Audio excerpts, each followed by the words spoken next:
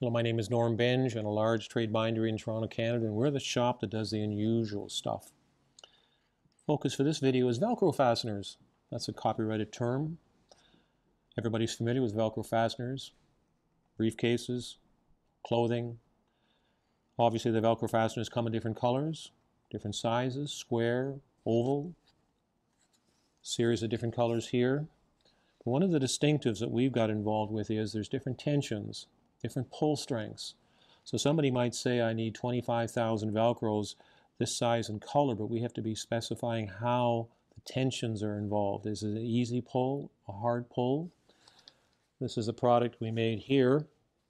It's a vinyl product, when the emphasis is not on the vinyl, but the fact that there's a Velcro fastener that closes it. Now in this particular one, it was white because the product was white. Some people want it to stand out. So other company, other designers might say, well, I've got a background that's white, but I want red. So if you're dealing with different shapes, different textures, different colors, different quantities, requiring Velcro fasteners, we make the books that need Velcro closing. We do brochures and vinyl products that need Velcro closing. If you need Velcro, please give us a call. Thanks.